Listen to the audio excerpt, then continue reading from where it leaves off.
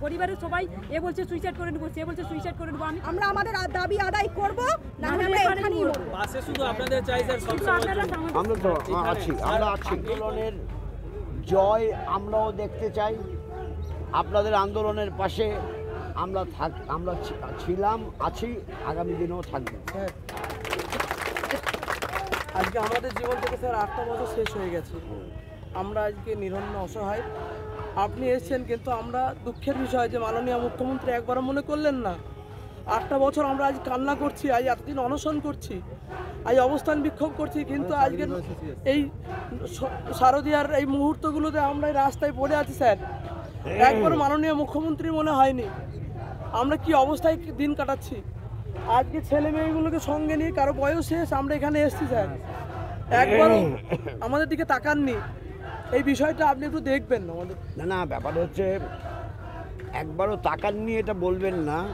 উনিশশো উনিশ সালে প্রেস ক্লাবের সামনে যখন শিক্ষক, শিক্ষিকারা, চাকুরি প্রার্থীরা বিক্ষোভ দেখাচ্ছিলেন, অবস্থান করছিলেন, দিন, রাত অনশন করছিলেন। সেই সময় আমরা সমর্থন, তাদের দাবিকে সমর্থন করতে আমরা এসেছিলাম। আমরা চলে যাওয়ার তিন দিন পরে রাজ্যের মুখ্যমন্ত্রী ওদের কাছে গিয়েছিলেন। ওদের প্রতিশ্রুতি দিয়েছিলেন, সহানুভূতির সঙ্গে সব বিষয়টা বিবেচনা করা হবে, তোমরা প্রত্যাহার করো। ওরা প্রত্যাহার করেছে এখনও তার সমাধান হয়নি। স্যার, যদি সব থেকে বেশি কেউ বঞ্চিত হয়ে থাকে, তাহলে স্যার আমরা আপার প্রাইমারি, আমরা বঞ্চিত আপার প্রাইমারি। কারণ যে নোটিফিকেশান অফলাইন দু হাজার চোদ্দ সালে হয়েছিল দু হাজার পনেরো সালে তার পরীক্ষা হয় দু হাজার ষোলো সালের চোদ্দোই সেপ্টেম্বর রেজাল্ট বেরোয়। দু হাজার ষোলো সাল থেকে স্যার এখনও পর্যন্ত নিয়োগ তো হয়নি। দু হাজার চোদ্দ সালে স্যার যে সিট সংখ্যা ছিল, একটা সিটও আপডেট হয়নি স্যার। কিন্তু আমাদের কাছে আরটিআই মারফত বহু প্রমাণ আছে যে সেই সিট কিন্তু আছে। তাহলে স্যার, আমরা কেন এতদিন ধরে বঞ্চিত? সমস্ত জায়গায় দুর্নীতিকে রুখতে স্যার সিট দিয়ে দেওয়া হচ্ছে, প্রাইমারি দুবার চারবার করে হচ্ছে, একে ব্যতিক্রমীভাবে বলা হচ্ছে, যারা চাকরি পেয়েছে তারাও থাক নাইন টেনে আরও সিট বৃদ্ধি করা হচ্ছে। কিন্তু আপার প্রাইমারি কেন স্যার দিনের পর দিন আট বছর ধরে বঞ্চিত? কেন স্যার একটা সিট বাড়ে না?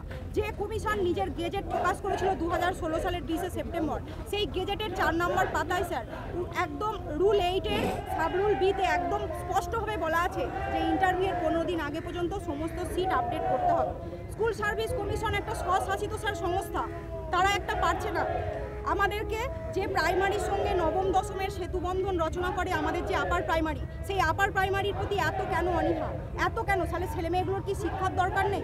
সে শুধুমাত্র যে আমরা আট বছর ধরে এমন ভুগছি, আমাদের এক কাটা জমিও নেই। আমার দাদা অনেক কষ্ট করে আমাকে একটা কোম্পানির কাজ কর- করিয়েছে। লকডাউনে তার কাজ চলে গেছে। আজকে পঞ্চমী দিন তার অ্যাক্সিডেন্ট হয়েছে। মাথাতে খুব আঘাত লেগেছে। মানে তার কাছে আমরা এখন দাঁড়াতে পারছি না। পরিবারের সবাই এ বলছে সুইসাইড করে নেব সে বলছে সুইসাইড করে নেব। আমি কাকে বাঁচাবো পর্যন্ত পরিবারে আমাদের চারজন সদস্য। সুইসাইডটা কোনো পথ না। এই যে এই যে ম্যারাব ম্যারাব্বেদে আন্দোলন এটাই হচ্ছে পথ। আমাদের এই চাকরিটা যদি না হয় আমরা সত্যি আমরা খুব অসুবিধায় পড়ে আমাদের এখানে মানে আমাদের গেজেট মেনে চাকরিটা আমাদের সত্যিকারের চাই। একটাও নিয়োগ হয়নি। দু হাজার চোদ্দ সাল থেকে। সেই সাপেক্ষে আমাদের না না নিয়োগ হয়নি পড়াশোনা হচ্ছে কি করে? ওই অন্য স্কুলগুলো তো বন্ধ হয়ে যাচ্ছে স্যার। তার তো প্রমাণ আপনারা দেখতে পাচ্ছেন। স্কুলগুলো তো বন্ধ হয়ে যাচ্ছে। আমরা আমরা নিয়োগ না গিয়ে এখান থেকে উঠবো না। শুধু আপনাদের সাপোর্ট। আপনাদের মারফত আমাদের কথাটা যেন পৌঁছে যায়। আমরা আছি আর আমরা একটা আছি। কথা স্যার আপার প্রাইমারি কিন্তু সবার আগে নিয়োগ হয়। নাইন টেন ইলেভেন টুয়েলভ সবার আগে নিয়োগ হয়। আমার বয়স স্যার যখন আপার প্রাইমারি দিয়েছিলাম আমার বয়স তখন ছেচল্লিশ ছিল। এখন আমার আট বছর পরে আমার বয়স যে দাঁড়াচ্ছে তাতে করে আমি কোনো সরকারি পরীক্ষা দিয়ে আর দিতে পারব না স্যার। তাহলে আমার কি অপরাধ ছিল এই বছরগুলো? অপরাধ আমার জীবন থেকে চলে গেল স্যার। এরপরে আমি কি করব স্যার? আমার পরিবারে আমি একমাত্র ডিপেন্ডেন্ট আমি আমার পরিবারকে নিয়ে বেঁচে রয়েছি। তাহলে এছাড়া তো আমার কোনো রাস্তা নেই। আমার সরকারি চাকরি দেওয়ার রাস্তা আমার বন্ধ হয়ে গেছে স্যার। আমার প্রাইমারি পরীক্ষা হয়। তারপরে নাইন টেন ইলেভেন টুয়েলভ পরীক্ষা হয় কিন্তু nine ten eleven twelve recruitment হয়ে গেল তার মাঝখানে আবার প্রাইমারি দু তিনবার রিক্রুটমেন্ট হয়ে গেল নাইন টেন রিক্রুটমেন্ট হয় নাই টাকার বিনিময়ে হয়েছে টাকার বিনিময়ে হয়েছে টাকা দিছে হয়েছে স্যার গত উনতিরিশে সেপ্টেম্বর যেদিন শশী মাজা এখানে এসেছিলেন মাতঙ্গিনী মায়ের পায়ে ফুল দিতে সেদিন উনি ওনাকে সেদিন আমরা দাবি জানিয়েছিলাম যে ম্যাডাম আমাদের বিষয়টা একটুখানি যদি দেখেন আমাদের জীবনটা বেঁচে যায়। উনি বলেছিলেন, তোমাদের বিষয়টা এক্ষুনি গিয়ে আমি দিদির কাছে বলব। আজই বলব। সেই আজ এখনও আসেনি। হলো বাংলার? পশ্চিমবাংলার কি হলো? পঁচাত্তর বছর স্বাধীনতার, পঁচাত্তর বছর।